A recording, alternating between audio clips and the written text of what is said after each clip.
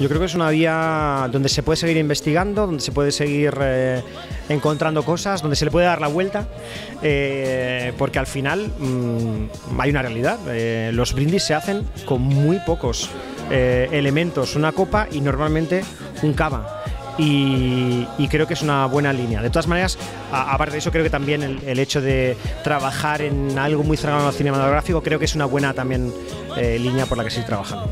Seguro, seguro, seguro. Estamos en el, momento del storytelling, de contar historias bien contadas, de contarlas cinematográficamente y yo creo que sí, sin duda. Depende de cómo vaya, pero yo creo que nuestras burbujas pueden seguir invitando a personajes a brindar.